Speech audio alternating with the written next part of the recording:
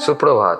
সকলকে জয় ঈশ্বর ঈশ্বরকে ধন্যবাদ দিই যে আজকের এই সুন্দর সকাল তিনি আমাদেরকে দিয়েছেন এবং তার বাক্যের কাছে আসতে তিনি সাহায্য করেছেন। তাই আজকে আমরা দেখব বিশ্বাসীর জীবনের উত্তমতা।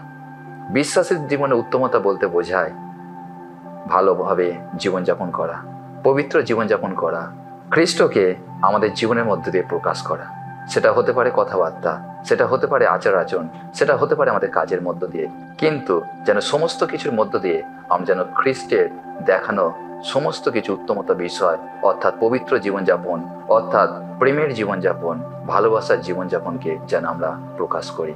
তাই আজকে বাক্য বলে যেটা রোমিও তার বারো অধ্যায় একুশ পদ, তুমি মন্দের দ্বারা পরাজিত হইও না, কিন্তু উত্তমের দ্বারা মন্দকে পরাজয় করো।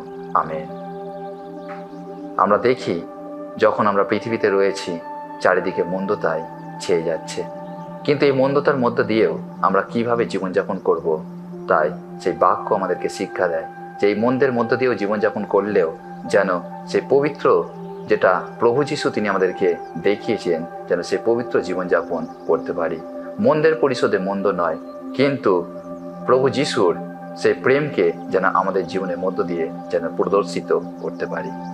প্রিয়জন, আজকে পাপের অন্ধকারে আমরা যেন আবদ্ধ না হয় কিন্তু প্রভু যিশু আমাদের জীবনে যে উত্তমতা বিষয় তিনি আমাদেরকে দিয়েছেন, যেন সেই উত্তমতা বিষয়গুলো আমরা যেন সমস্ত কিছু দিয়ে যেন আমরা মন্দকে পরাজিত করতে পারি।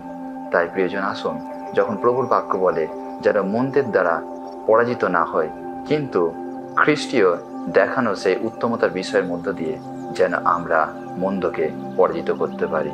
আমরা যেন প্রভু যিশুর সেই দেখানো পথের মধ্য দিয়ে যেন আমরা এগিয়ে যেতে পারি এবং মন্দকে পরাজিত করতে পারি। আসুন, আমরা প্রার্থনা করি। স্বর্গের প্রেমময় পিতা, প্রভু তোমাকে ধন্যবাদ দিই এই সুন্দর বাক্যের জন্য। যে বাক্য আমাদেরকে শিক্ষা দেয়, আমরা যেন মন্দের দ্বারা পরাজিত না হই। কিন্তু তোমার দেখানো সেই উত্তমতার মধ্য দিয়ে আমরা যেন মন্দকে পরাজিত করতে পারি। প্রভু, তুমি আমাদেরকে সাহায্য করো এবং সেই শক্তি তুমি আমাদেরকে দান করো। এই প্রার্থনা প্রভু যিশু তোমার নামে চায় আমেন।